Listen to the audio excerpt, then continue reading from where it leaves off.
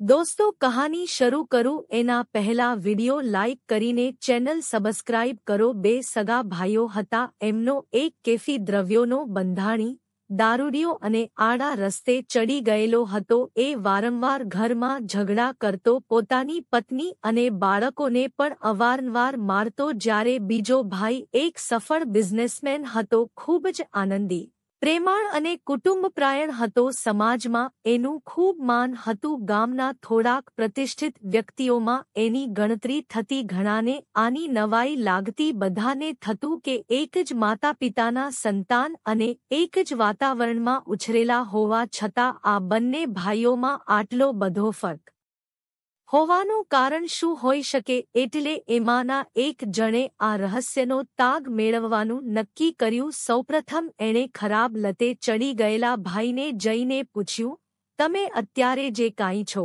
જે કાંઈ કરો છો એ બધા માટે તમને પ્રેરણા ક્યાંથી મળેલી? તમે આજે જે પરિસ્થિતિમાં છો એના માટે તમારા મતે જવાબદાર કોણ હે મારા પિતાજી?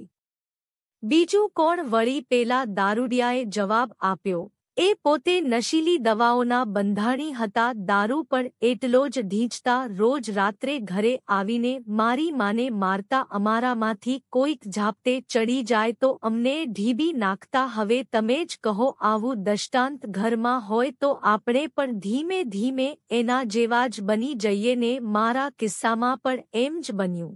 પેલા પૂછનારને આ વાત બરાબર લાગી ત્યારબાદ એ બીજા ભાઈ પાસે ગયો. એ ભાઈ અત્યંત પ્રતિષ્ઠા ધરાવતો અને ઉચ્ચ જીવન જીવતો હતો. એને પણ પેલાએ એ જ સવાલ પૂછ્યો જે એણે એના દારૂડિયા ભાઈને પૂછ્યો હતો કે, તમે અત્યારે જે કાંઈ છો જે કાંઈ કરો છો એ બધા માટે તમને પ્રેરણા ક્યાંથી મળેલી તમે આજે જે પરિસ્થિતિમાં છો એના માટે તમારા મતે જવાબદાર કોણ છે? મારા પિતાજી બીજું કોણ? વળી પેલા પ્રતિષ્ઠિત વ્યક્તિએ જવાબ આપ્યો. હવે પેલા સવાલ કરનાર માણસને નવાઈ લાગી એનાથી પૂછ્યા વિના રહેવાયું નહીં કે, પરંતુ તમારા પિતાજી તો દારૂડિયા.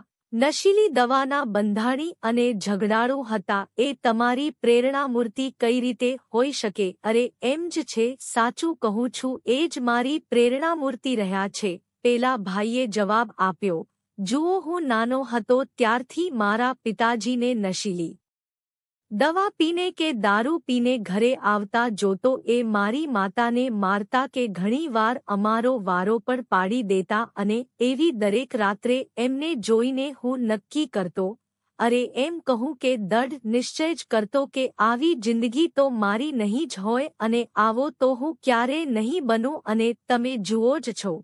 એના લીધે મળેલું પરિણામ તમારી નજર સામે જ છે. કુહવાવાળા માણસને એની વાત પણ બિલકુલ સાચી લાગી દુનિયા પાસે હકારાત્મક અને નકારાત્મક એમ બધું જ છે, એમાંથી શું મેળવવું એ કેવળ આપણા પર આધાર રાખે છે, દોસ્તો કહાની કેવી લાગી કોમેન્ટ્સમાં જણાવજો ને વિડિયો લાઇક કરીને ચેનલ સબસ્ક્રાઇબ કરજો.